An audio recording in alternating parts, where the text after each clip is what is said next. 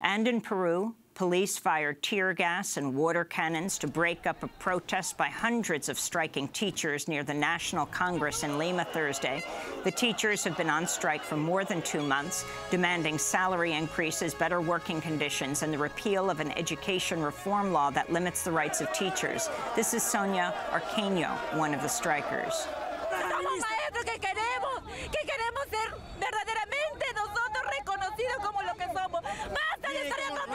cómo estamos. Miren